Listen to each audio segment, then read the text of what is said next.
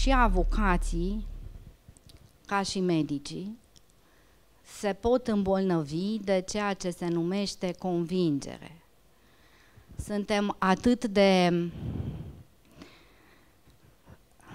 familiarizați cu ambiguitatea și cu neîncrederea, încât prin expunerea noastră repetată la oameni și la situații de tot felul, ajungem să credem că știm cam totul despre tot despre oamenii pe care îi întâlnim, uh, despre situațiile în care ne aflăm, ne dăm cu părerea.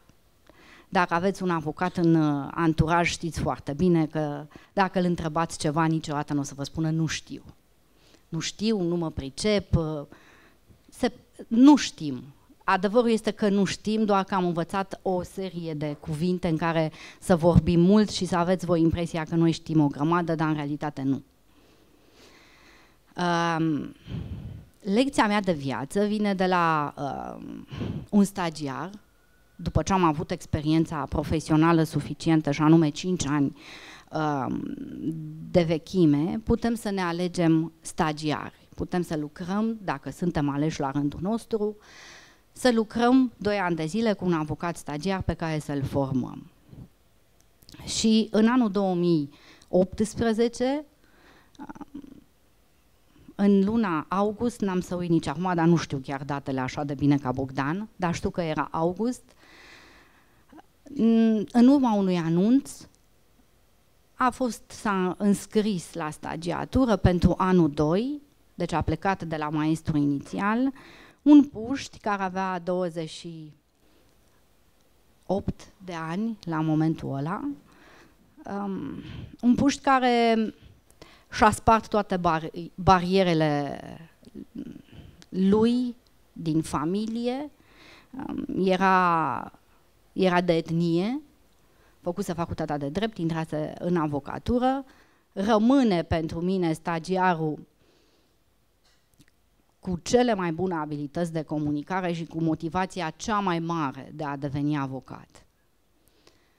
Și Începem uh, colaborarea, un an de zile a durat, nu a fost nimic din ceea ce am dat să facă să-mi spună vreodată că nu poate, deși nu știa, nu știa mai nimic, dar era atât de abil în a mm, studia și a găsi răspunsurile, încât uh, își făcea treaba asta, meseria, bine. Și după un an de zile s-a îmbolnăvit.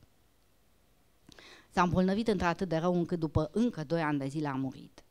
Și am, a, m-am întrebat și noi oamenii avem această natură perversă că ne dorim răspunsurile acum, aici, automat. De ce a intrat omul ăsta în viața mea și, ce, și mai ales de ce a plecat în felul acesta, de ce m-a ales pe mine, de ce am stat lângă el în, din momentul în care uh, s-a îmbolnăvit și până, uh, până s-a dus.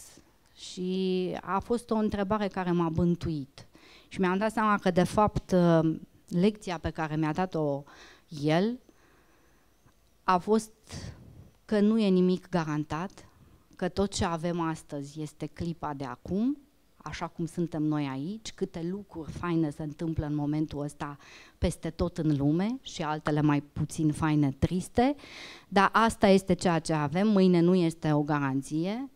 Un an de zile am lucrat cu el și nu cred că am apucat să-i spun vreodată mulțumesc și nu cred că a știut cam cât de mult am prețuit um, dedicația lui și dorința lui de a crește și de a fi mai bun. Și în, în, în, în ce grad m-a schimbat lucrul ăsta este că poate, nu știu dacă zilnic, dar cu siguranță, în fiecare vineri, la finalul săptămânii, apuc să le mulțumesc colegilor mei.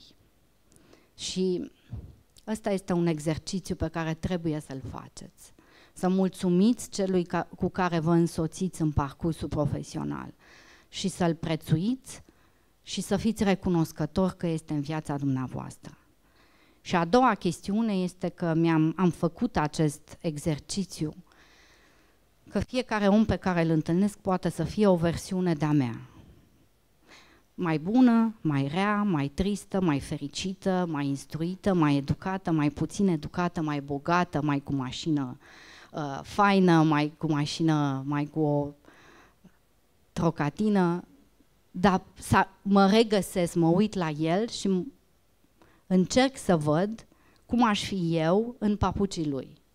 Și dacă faceți acest exercițiu, veți fi foarte blânzi cu oamenii din jurul vostru și îi veți accepta mai ușor. Și, div- și diversificarea asta și diversitatea va veni cu bucuria, în primul rând, de a trăi, pentru că dacă sunteți bucuroși să trăiți, veți fi excelent, excelenți în profesie.